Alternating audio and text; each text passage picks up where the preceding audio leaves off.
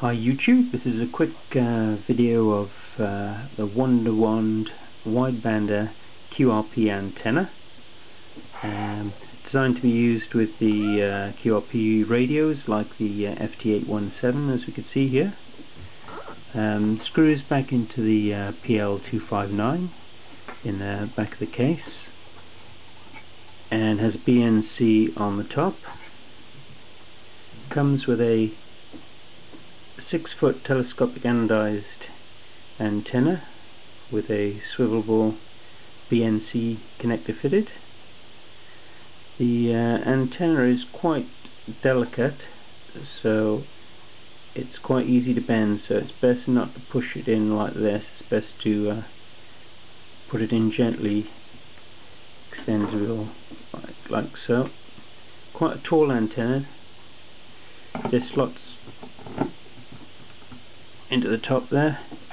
It's a standard LC matched antenna. You select the inductor on the bottom switch and capacitance on the top. I think the power is limited to uh, 10 watts. Um, there's a small um, tune-in capacitor in the uh, in the back of the radio, which we can have a look at in a second and the uh, that's what limits the amount of power that you can uh, put out. But fits very nicely on the back of the 817 this one's got the uh, palm peg legs.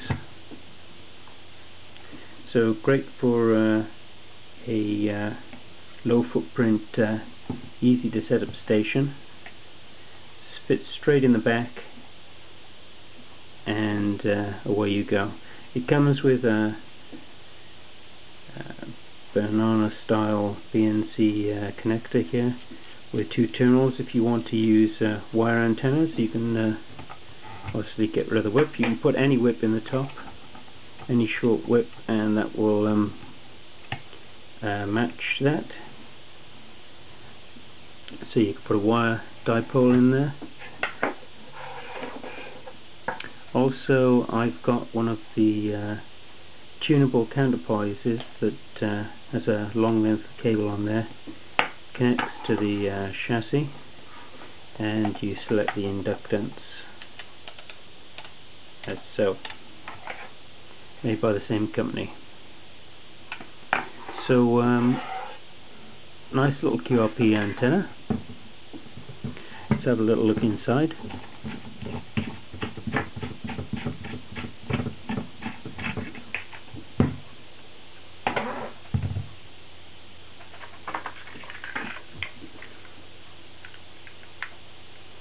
There's four small screws holding the back panel on. Very easy to take off.